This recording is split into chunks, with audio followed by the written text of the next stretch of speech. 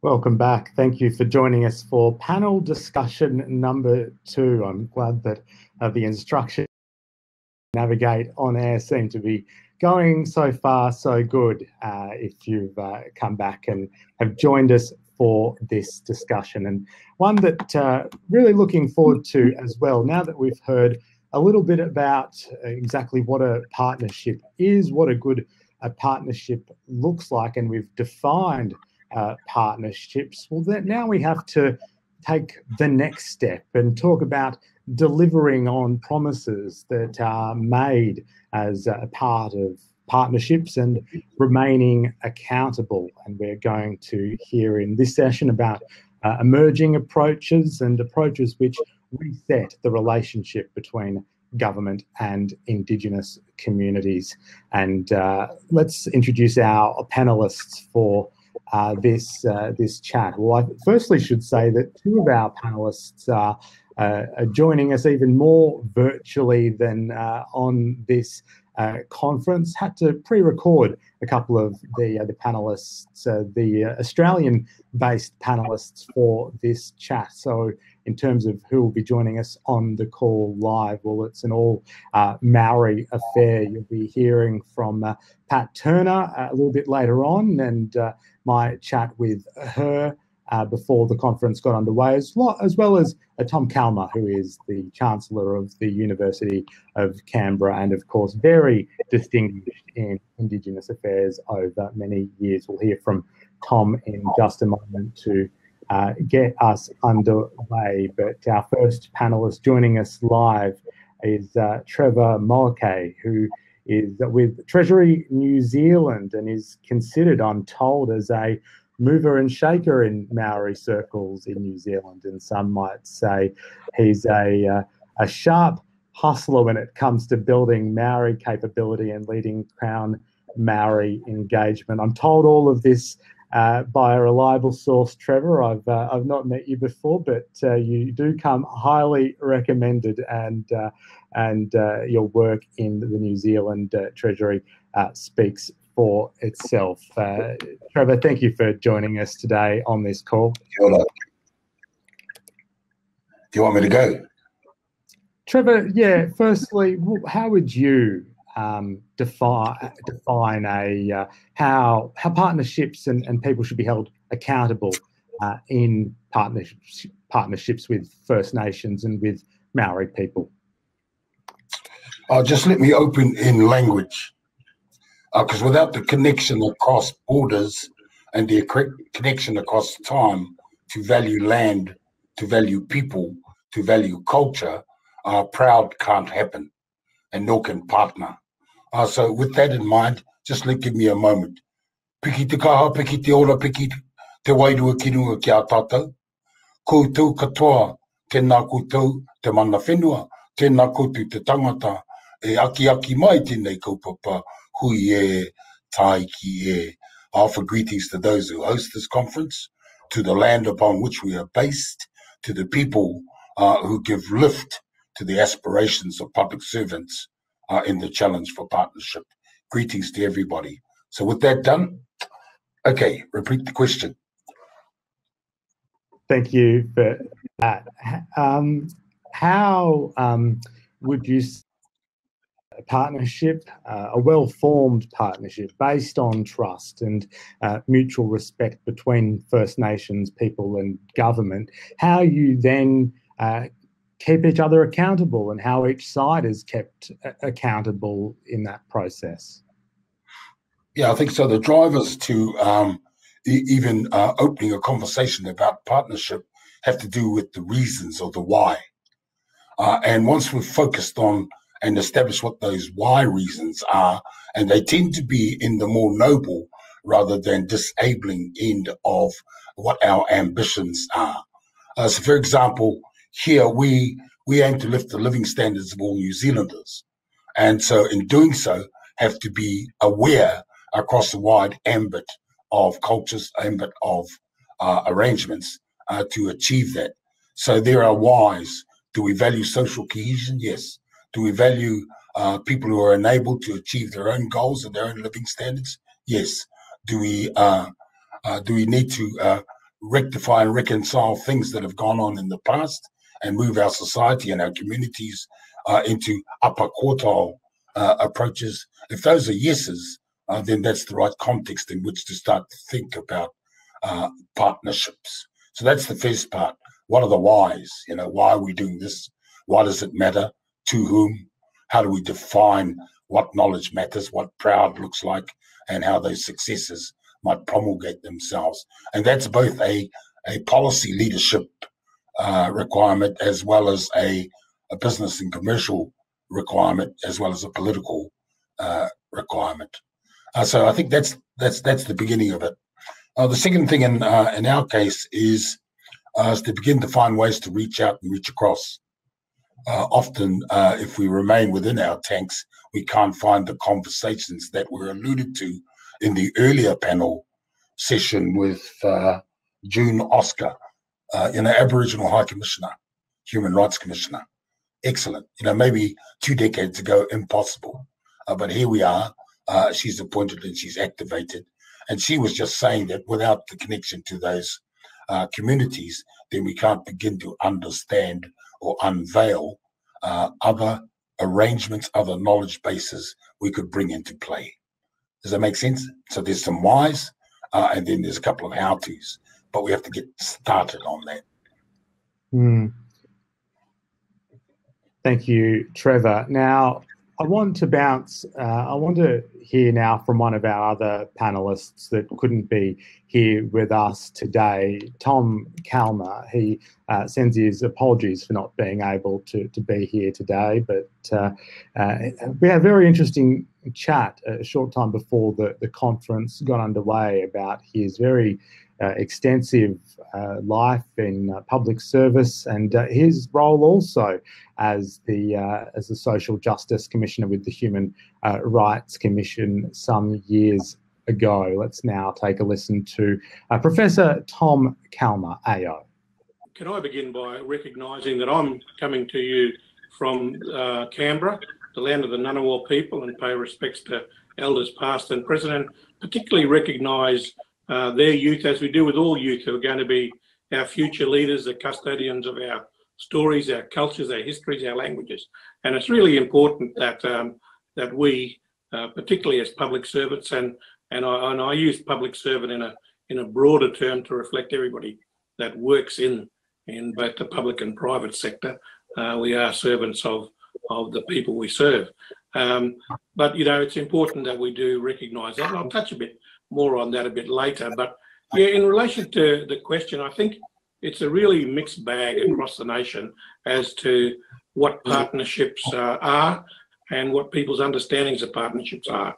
And you know, I can reflect back to to you know when in my earlier career in the mid '80s when when the the government of the day uh, we talked about the Aboriginal uh, economic development policy or Aboriginal employment development policy, and and that was a partnership between Aboriginal Torres Strait Islander people and and the Commonwealth government at the time.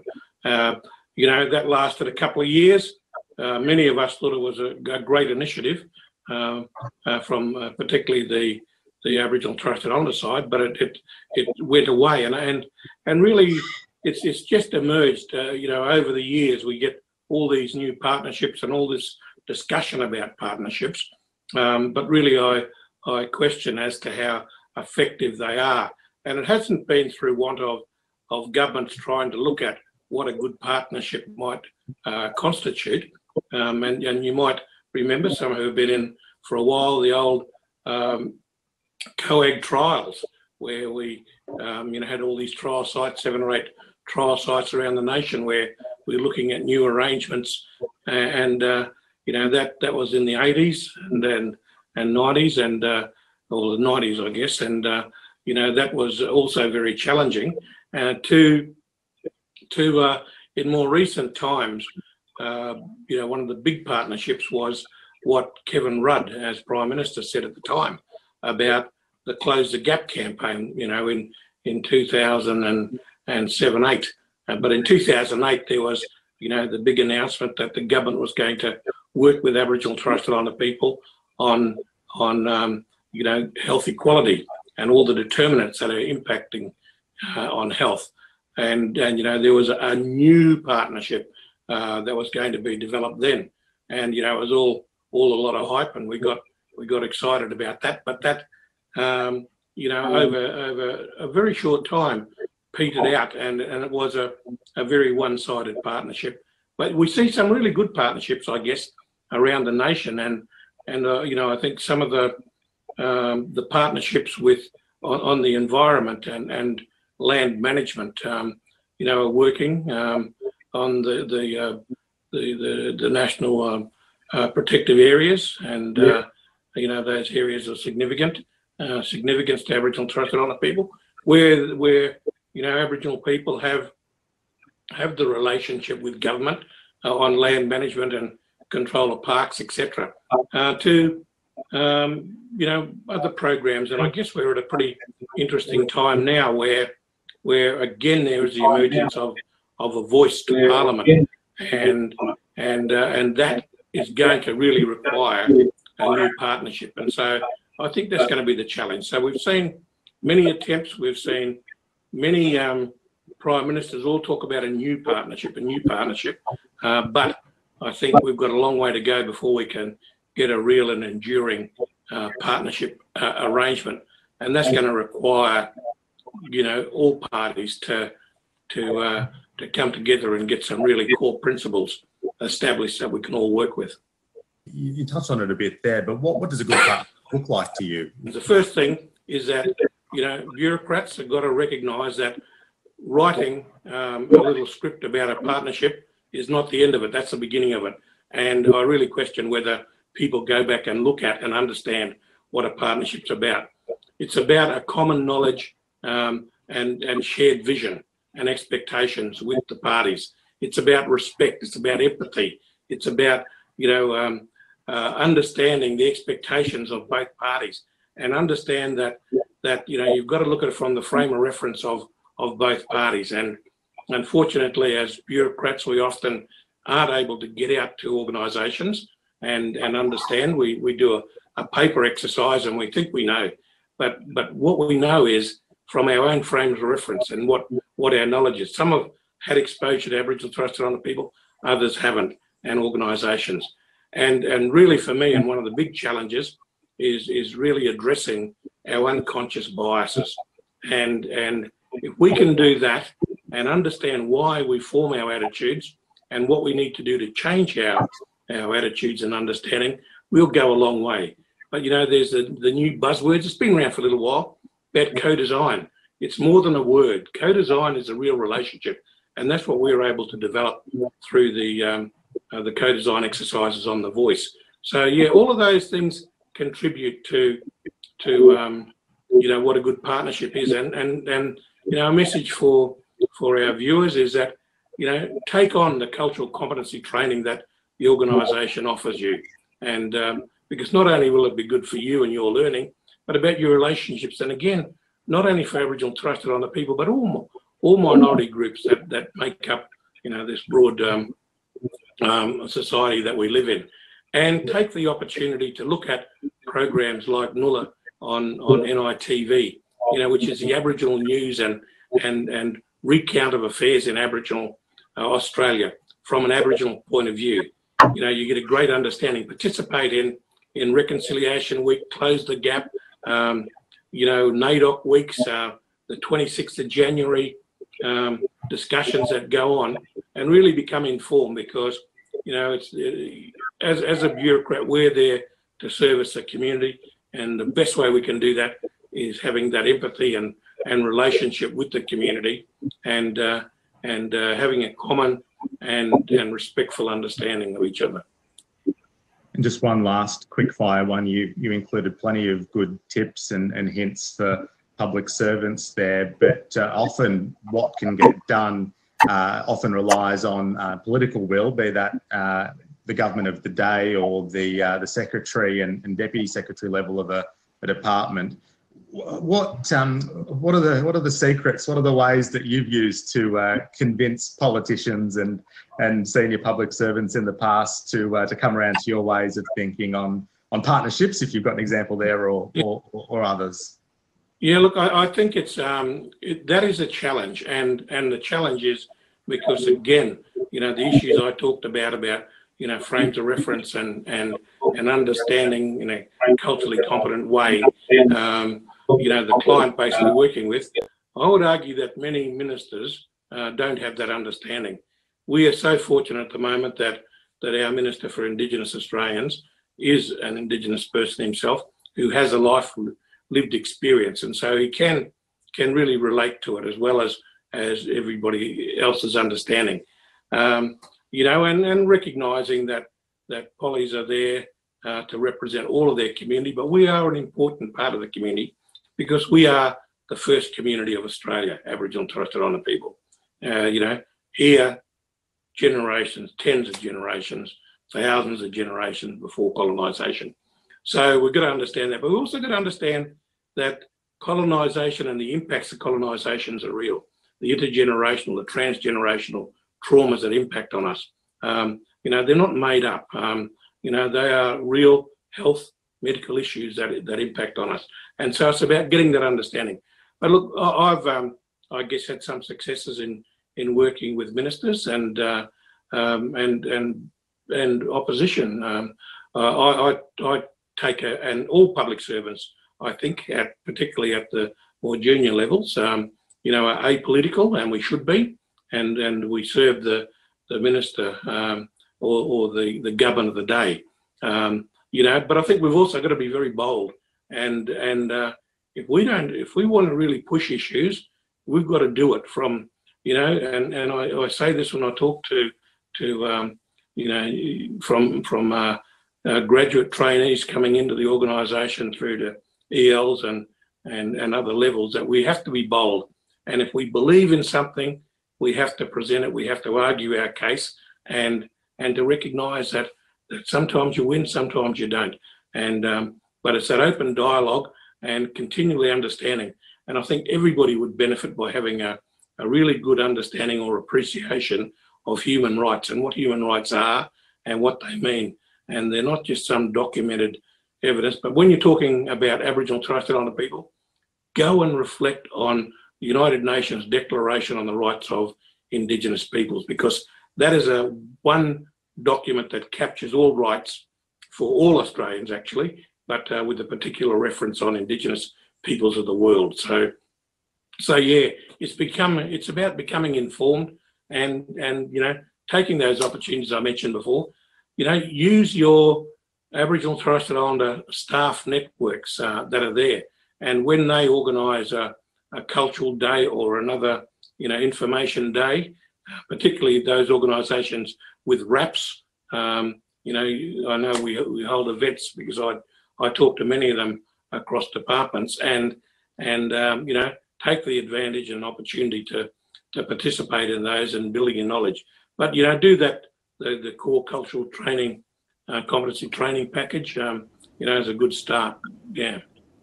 Tom Calma there, and a privilege to speak to him um, a couple of days ago before the conference get underway and hear from uh, him and his nearly 40 years of experience in the Australian public service as a, a diplomat and then a, a, ministerial advisor, and of course then with the uh, Justice Commissioner, and of course uh, an elder, most, most importantly from the Kung, tribe as well as the the Wadja tribe in the Northern Territory of Australia.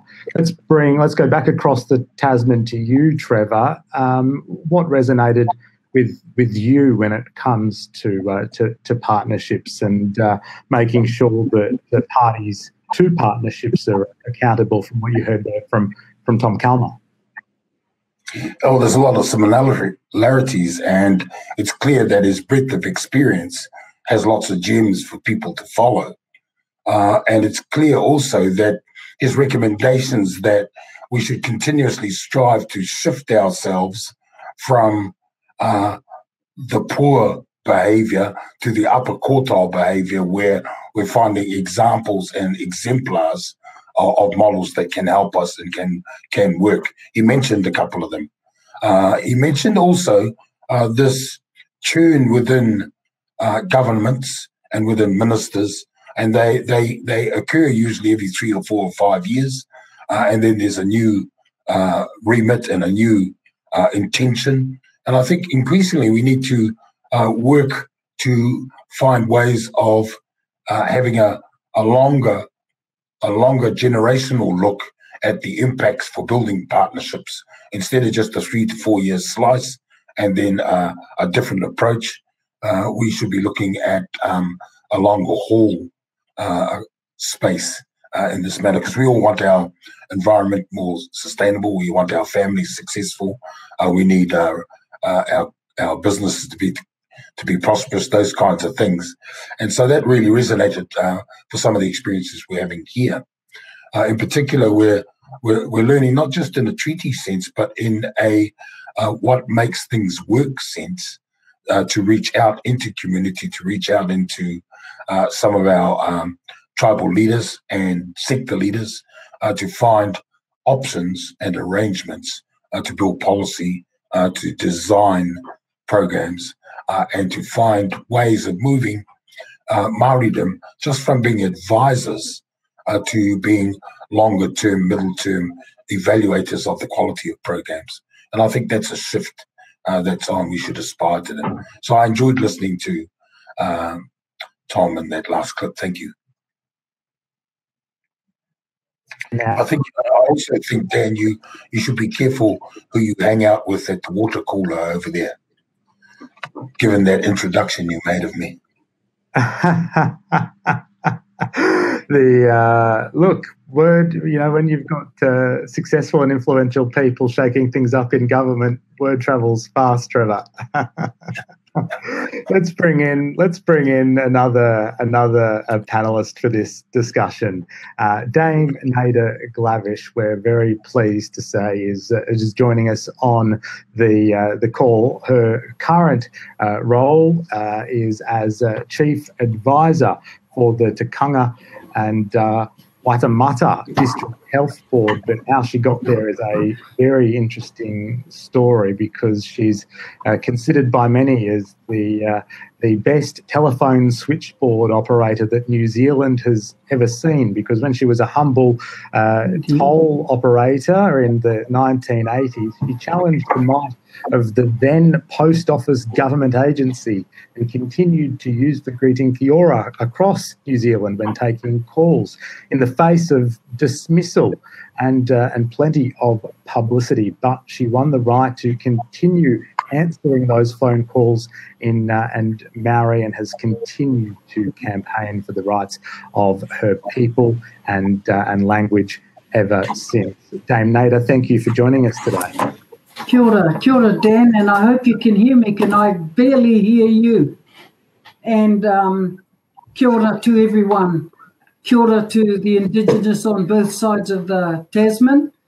And um, I'd like to support all the previous speakers, although my um, volume has been challenging to say the least.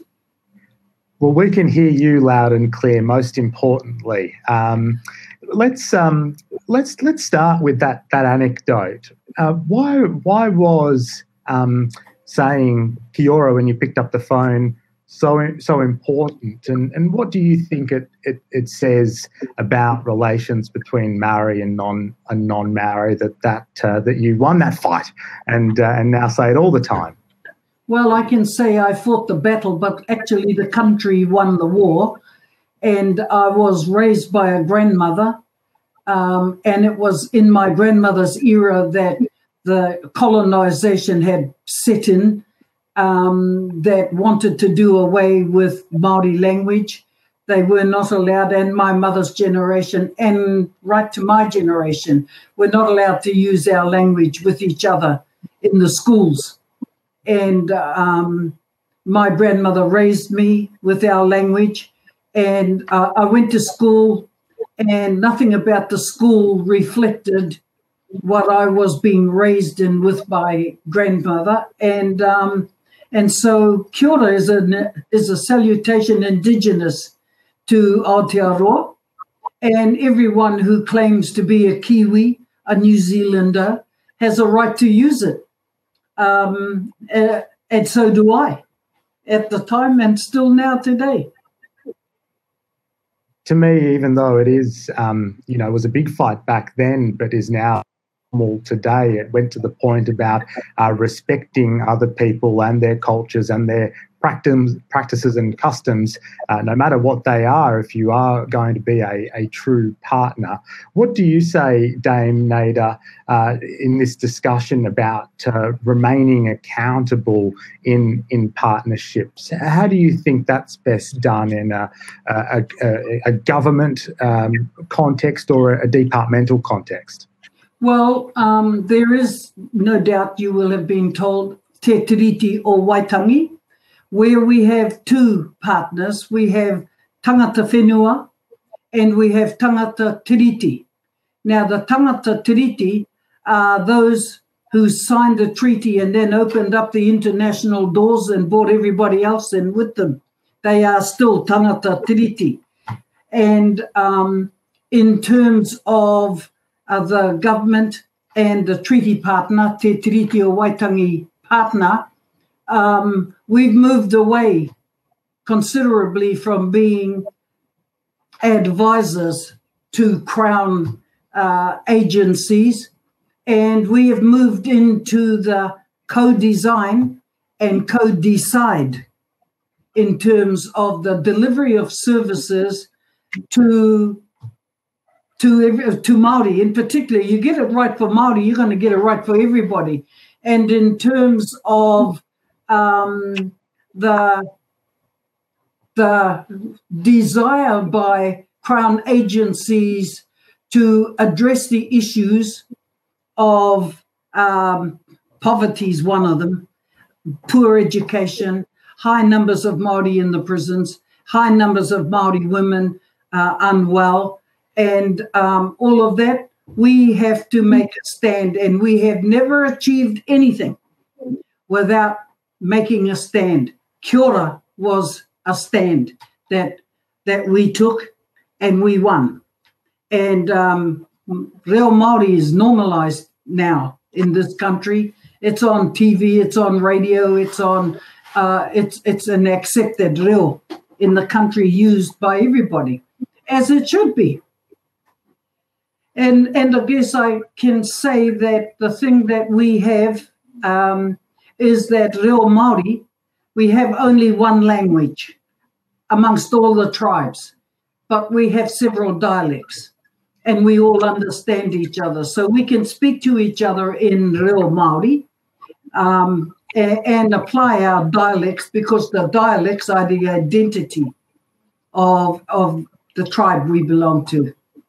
Mm just a reminder that if you wanted to uh, tweet anything that you're hearing in this session or other sessions throughout the conference, the hashtag is hashtag First Peoples 21, hashtag First Peoples 21. And if you have any thoughts, ideas, or questions that spring to mind during these panel discussions, then jot them down. Uh, pull out your smartphone and, and make a note of it because you'll be able to uh, ask and follow up in our yarning circles uh, later on today.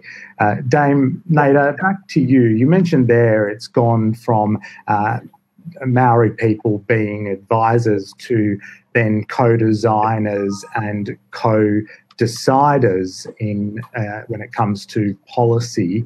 As as it as things become more equal and it becomes a partnership of equals how do maori community members at the grassroots then hold maori leaders and representatives uh, accountable uh, for for things that they do on behalf of um, of a tribe or of a, a, a, bigger group of people? The the important thing um, is that is where the accountability sits. For instance, in crown agencies, accountability for the delivery of services to Maori is what we are moving into in terms of co-design and co-decide is to create that accountability uh, within Crown agencies to the delivery of services that impact Maori.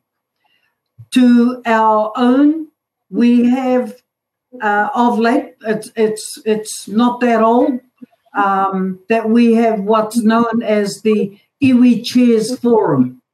So the 78 plus chairs, iwi, that are in the country, the chairs meet and we've split ourselves up into po into posts of which uh, we have several responsibilities. And we report back to the whole forum the 78 plus and um, to get sign off. And so we have an accountability process from within to discuss issues that impact everybody, everybody in the country, i.e., fresh water, i.e., climate change, i.e., whānau ora, i.e., everything that we discuss has an impact on the total collective. And so um, we meet four times a year, we report to each other, we get feedback from each other, and we get support from each other, and then the whole forum meets with the government to inform the government of our decisions. Thank you, Dame Naida. I want to bring in uh, Pat Turner now, who is the Chief Executive in Australia of the National Aboriginal Community Controlled Health Organisation. She's the daughter, daughter. of an Arrernte man and a Gudanji woman and was raised in Alice Springs. And as CEO of NACCHO, she's at the forefront of efforts to close the gap in health outcomes for Aboriginal and Torres Strait Islander people and uh, is also the uh, convener of the Coalition of Peaks, which, uh, of course, has been involved in establishing the Closing the Gap version 2.0 here in Australia, working uh, alongside government as co designers for the new Closing the Gap agenda. And she's now co chair of the Joint Council on Closing the Gap. We had quite an extensive conversation, only some of which you'll hear here, but she did reflect uh, on that first closing the gap agenda and, and said that it was an improvement, that there was some funding and that did go some way to closing uh, gaps in outcomes, but it was, and its fatal flaw was, she says, just about governments and it wasn't shared with Aboriginal and Torres Strait Islander people.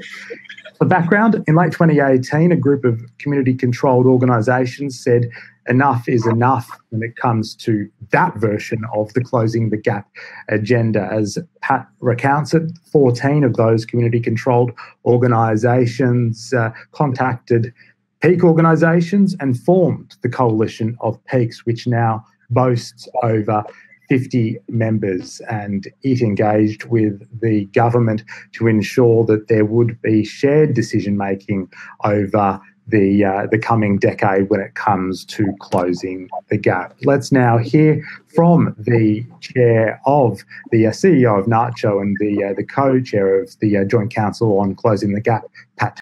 We were very clear in terms of the coalition peaks, in terms of what we wanted included in the national agreement, and we successfully negotiated that. So um, you know, and we have had Coalition of Peaks have had meetings with the Prime Minister directly himself and with a number of his cabinet ministers. So, in a sense, the partnership is not limited to those, you know, like Joint Council and um, and Partnership Working Group uh, that sit around the formal structures we've established. But what we need to do is ensure that this is embedded in the daily thinking of governments in every aspect of government decision making.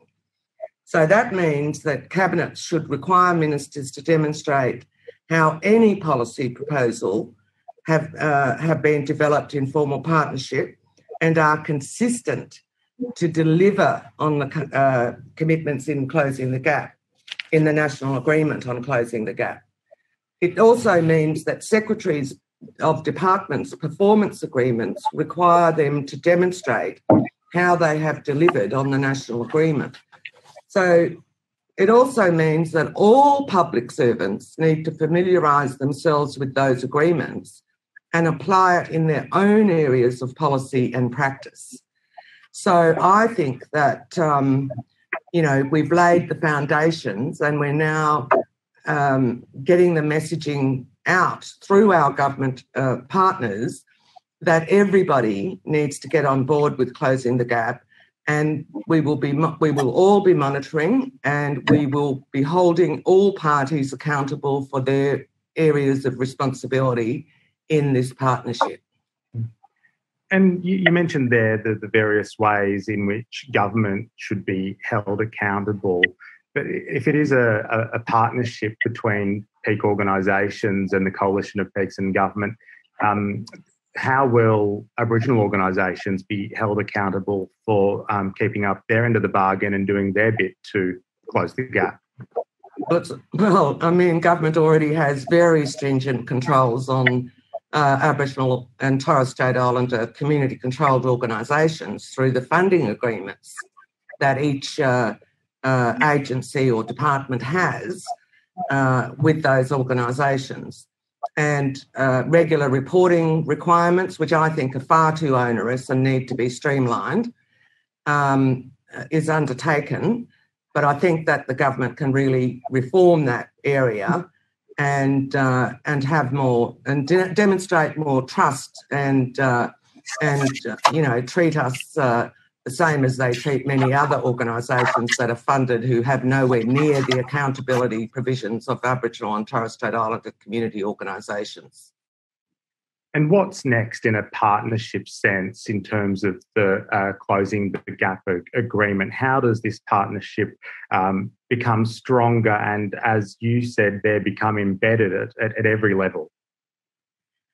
Yeah, well, I think that, you know, the important thing is that we've set it all out in writing um, in terms of what the priorities are, um, what the responsibilities are, how it will be monitored, how it will be evaluated, and how it will be reported upon publicly.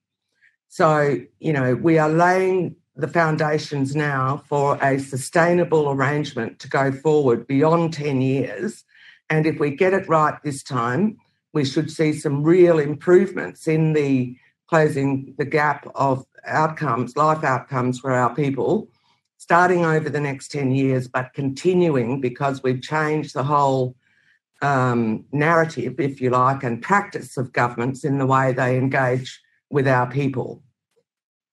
And Pat, for the um, public servants on the conference, uh, public servants um, at all levels, from um, the executive service uh, down to some of the APS's newest members, how would you say that they should um, incorporate the uh, the closing the gap agreement and the spirit of that agreement in their day to day work? Good question, Dan. Thank you very much. Um, I think it's important that all the delegates ring, read their partnership agreement and the national agreement. And they will then have an understanding of how broad this partnership is and how it affects every single public servant. So I would like each delegate at the conference to consider how they bring their own sense of urgency to the task and their own sense of responsibility and accountability to support the shared decision making with First Nations people in every aspect of their work. If they do that and they remind their senior officers that it is required and that they understand that it is Aboriginal and Torres Strait Islander people who decide who from their communities engages with government on their behalf instead of governments just handpicking who they choose to speak to, then they are very important cultural changes that need to be reflected in the way government departments operate. There, who joined me a, a few days ago before the conference got underway, and she also sends her apologies for not being able to uh, be with us here today. Um, Trevor, I want to go to you now. Um, the New Zealand wellbeing budget's impact on on Maori. That's a topic that will be unpacked next month. C- can you give us a brief overview of, of what that will uh, what that will be, as well as um, the rationale of uh, of being accountable to, to Maori and how the New Zealand government is tracking on delivering on those promises. And just to let you know, let you both know, all know, uh, we've got about three minutes left for this session. Sure, thanks for the question. I think that um, uh, in thinking about well-being, uh, it reminds ourselves that um, there's multiple facets to wellness and well-being. So here in Aotearoa, New Zealand, we've we've taken on board thinking about you know what's the, what the social well-being indicators might be uh, what are the economic indicators what might be the environmental what mm. might be the human and cultural uh, arrangements or aspects uh, in that package and it's a signal that you know beyond our gdp measures there are other aspects of how you might look at uh, well-being and how you might think about whether people are feeling well and how they're doing and how prosperity is going. And we adapted that by uh, asking Te Ao Māori a big question around how could Te Ao Māori help us think?